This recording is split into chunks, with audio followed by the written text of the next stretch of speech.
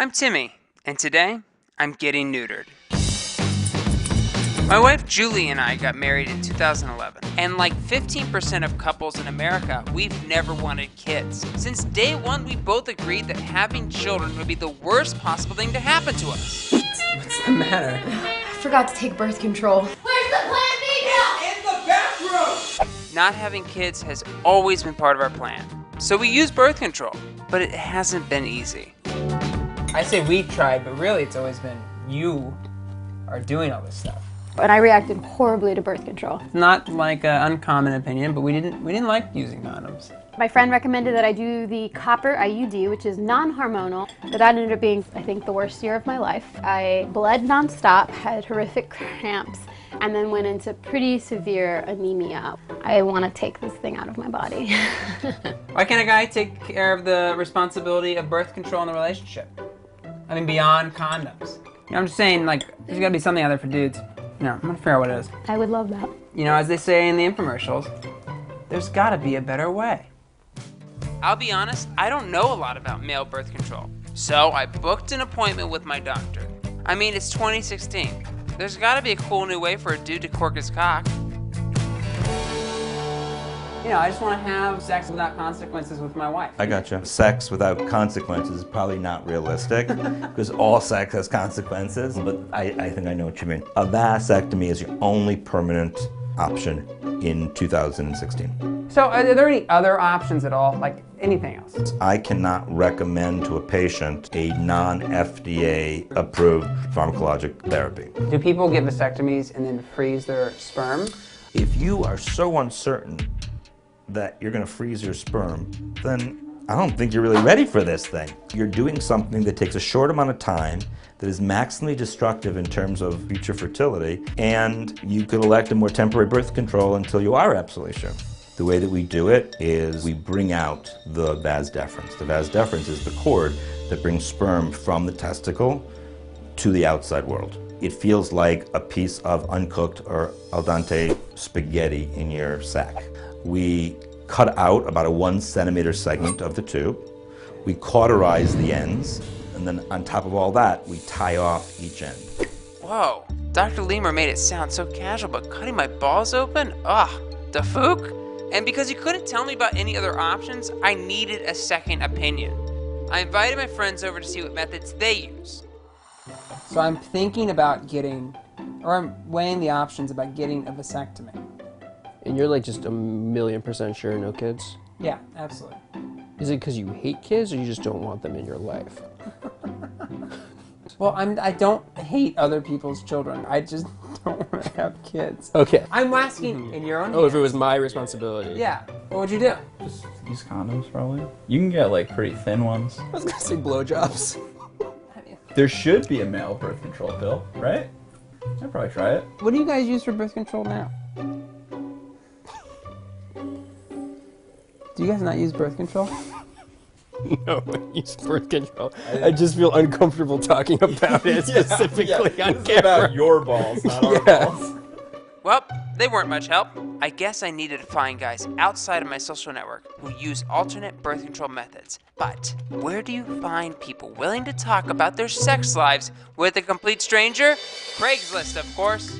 Don't respond if you think I am trying to fuck you. And quickly the replies started pouring in. Oh, I love the internet. I arranged to meet with the four responders who were the least creepy to hear their advice on how not to reproduce. What do you guys think I should do? Anal. All anal. gamble a little bit, have fun with it. It's good to, you know, to live on the edge like that sometimes, you know? Uh, Alan, so you you've been married a couple times. You Yes, said. twice. When you were married, what was the birth control situation at those times? We just kind of abstained from going there. That's the outer Uh, course. So we did a lot of 69. And Never once. Never once. The outer course is like the fucking side dish without the entree. I don't know. Uh, it- Not if you do it correctly, though.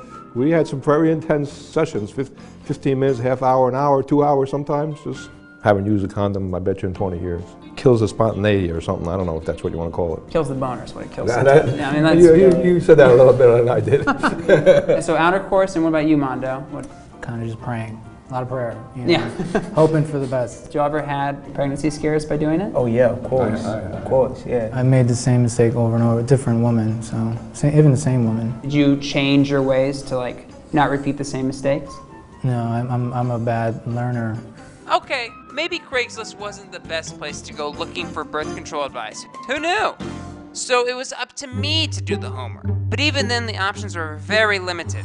There are a lot of stories about on off switches for your balls and weird herbal supplements that reduce fertility, even a male birth control pill. But none of it's been proven. I gathered info on all the most viable options and reported back to the person this would affect the most. All right, honey. So I did some research. 19% of people get pregnant within one year of withdrawal. So that's the pull-out method. Uh, the rhythm method is 80% effective. My dad swears by that one. Yeah, and he has four children. So, Mhm. and then a, and then condoms, of course, are 98% effective. I hate them. Yeah, you hate them. I hate them. Vasectomy is our only option here, because Should we first call your parents, or oh, I just feel like it's like a permanent thing. But but do you want to? should we have an announcement or like, tell on people? Facebook. I don't know. when I think of our future, I don't ever see kids in it. Yeah, me either. I see five dogs. I would love to have an ugly dog, but not want to have an ugly kid. Get a vasectomy for sure. I was scared, but I knew that this was a necessary decision. I needed to turn off the hose, to snip the spaghetti, to remove my vas deferens. I was getting a vasectomy. Please come back infertile.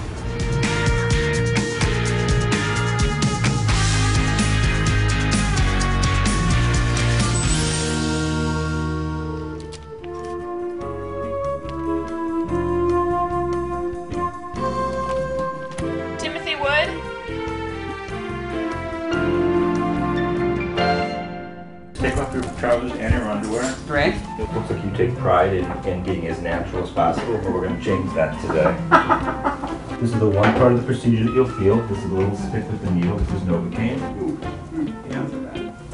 Underneath the basket. No, but I hear, I hear it's great. It's crazy. I mean, it's absolutely crazy.